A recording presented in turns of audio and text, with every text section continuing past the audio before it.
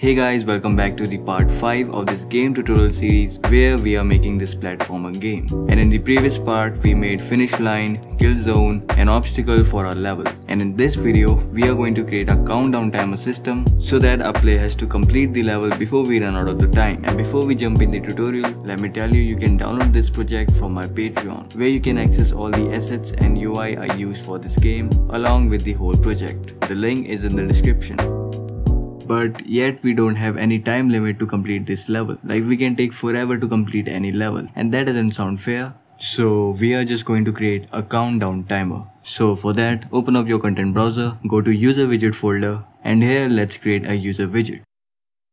Let's name this main HUD UI since it is going to be a main UI that will be displayed all the time while we are playing the game.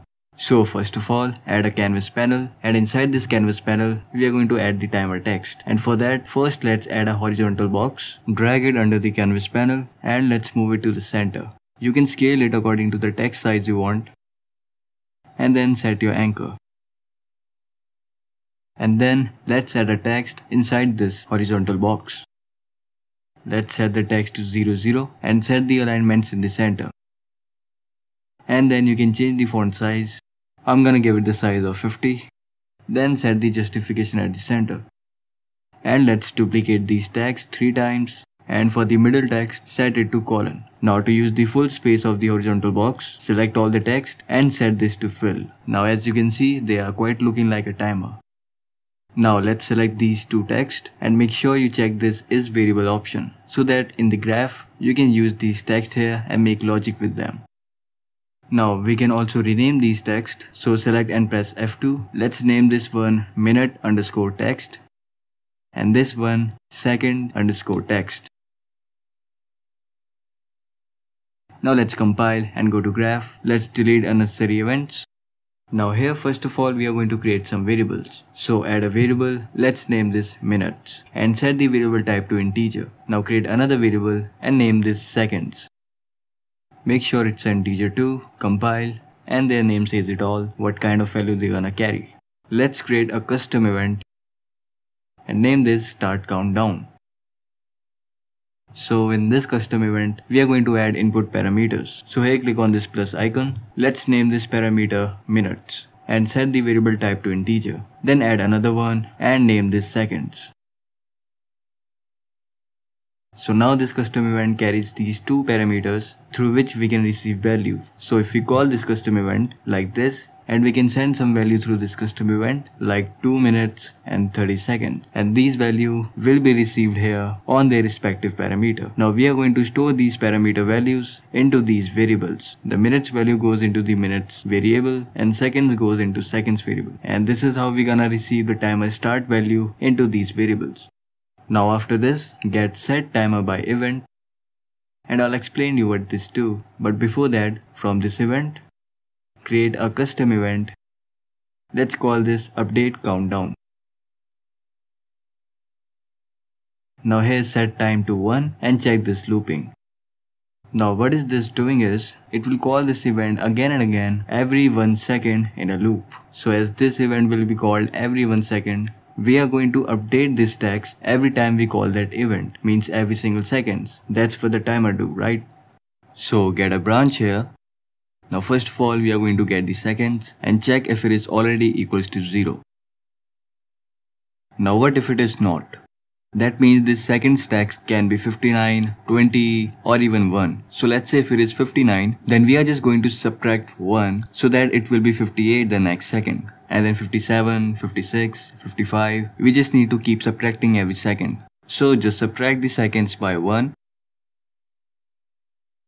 and then store the new subtracted value. And we are doing this every single seconds. I hope it makes sense. And now we need to update our seconds text. So get the seconds text and we are going to set this text to what this value is. And to change the text, search for set text. There it is. Now this is the integer value. So first let's convert it to text and plug this return value here. Now set this minimum integral digits to 2 so that this text will carry 2 digits even if the value is less than 10 and the maximum digits are also going to be 2. Now what if the seconds value reaches 0? So then what we are going to do is get a branch here So then we are going to check if our minutes is equals to 0. So if it is false and here our seconds are equals to 0 that just means we need to subtract the minute. So here set the minutes and subtracted by 1. And we are also going to reset the seconds back to 59. Now how does that work is, so according to that condition, our seconds are equals to 0 but our minutes are not. So let's just assume our minutes value is 1, so we are subtracting it and resetting our seconds back to 59. See, it makes sense.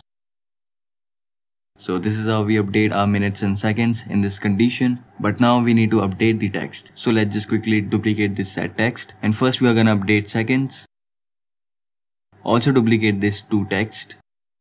Connect the return value here. And here for the value plug the seconds. Just like how we update the seconds before, we are doing the same here.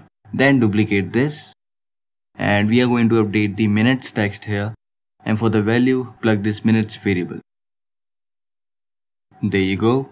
And now what if the seconds is equals to 0 and minutes is also equals to 0? That just means our countdown has been finished and we have reached 0 minutes and 0 seconds. In that case, we are just going to display this game over widget to the user. So create a widget and here select that game over UI then add it to the viewport and then get player controller and through this set input mode to UI only. And then set show mouse cursor and check this box to show the mouse cursor. And after this, we are going to destroy our character, means removing it from the level. So get player character and destroy actor. Alright, as we show this game over UI, then we are going to remove this main HUD UI. So search for remove from parent and the target is going to be self. Now the most important thing, we need to stop this timer. Otherwise it will keep calling this event every 1 second again and again. So to stop this timer, from the return value, search for clear and you will get this clear and invalidate timer handle. Click alt to remove this pin and plug it here. So now we are done with this timer system. Now compile and now we need to create this main HUD UI to display it to our player. And since this UI gonna persist with the player the whole time when we are playing, so we are going to create this widget in our game mode. So just go to your game mode. We are using my game mode which we created earlier and open this up. Now go to event graph and here on the event begin play, we are going to create that main HUD UI. So create widget and here select that main HUD UI and then add it to the viewport. There you go. Now let's compile. And now if we play, here you'll see we have that timer on the top, but it's not working. Why is that? So the reason is simple. We haven't called this custom event yet. And to start the timer, we need to call this custom event. Like this. But where are we gonna call this? Well, we can call this in the game mode since we are creating this widget here, but the timer is going to be different for each level according to how big or difficult that level is. But here the problem is that we are going to use the same game mode for every and each level. And if we call that event in the game mode, the timer value is going to be the same for each level. So we need something that is different for each level. So we are going to use level blueprint to call that event. So from here you can open up your level blueprint and here on the event begin play we are going to start the timer. Now we are creating a main HUD UI in the my game mode. So first we need to store this reference so that we can use this in another blueprint. So right click and promote this to variable and let's name this main HUD UI. Now let's compile and go to our level blueprint. Now here first we need to cast to our game mode. So get game mode and through this cast to my game mode so that we can access this reference to access that start timer event. So cast to my game mode and through the cast we can access this main HUD UI reference. So get main HUD UI and through this reference we can call this event. So call the start countdown event. There you go and here we need to give it the minutes and seconds value. Let's set the timer to 1 minute. Now compile and let's play. Now as you can see, the 1 minute timer has been started. So let's see if we can finish this level before the timer runs out. there you can see we can easily finish the level before the timer runs out. If you want you can also reduce the timer but I think 1 minute is fine for the first level. Now let's just wait for the timer to get 0.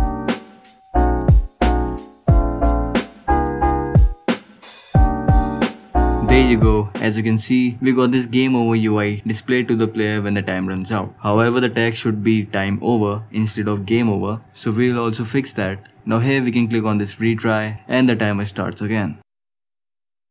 Now here in the game over UI, we wanna set the text to time over when the time runs out and the game over when we fell off. We'll do that in a second, but before that, I want you to notice something about the timer. When we press play, at the very beginning the timer is 00. 0. Let me show you again. Here, you saw that? The timer must be 1 minute 0 seconds, but instead it's 0 minute 0 seconds. Now that is happening because here we are setting the values of minutes and seconds, but we are not updating the text before we even start the timer. So let's make some space here. And this is how we update the text. So let's just quickly copy this and just plug it here before we even start the timer. So now the issue must have been fixed. So let's play and see that. There you see, now the timer works perfectly fine. Now what about this text? We want it to change into time over when the timer runs out. And this way we don't have to create two separate widgets for game over and time over. Now first make sure you check this is variable option from here so that you can access it in the graph. Now on the event construct we are going to set this text and event construct just works like event begin play in user widget.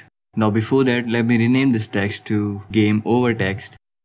Now come back to graph and here get game over text and then search for set text. Now right click and promote this to variable and let's name this variable default text. Now compile and down here you can set the default value for this text which is game over.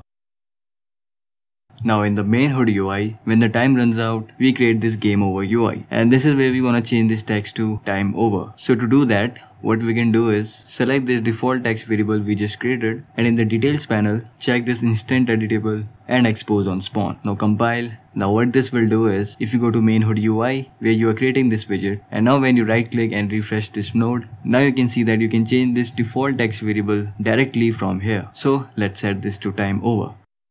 So now when the timer runs out it will set the text to time over. So let's hit play and wait for the timer to run out.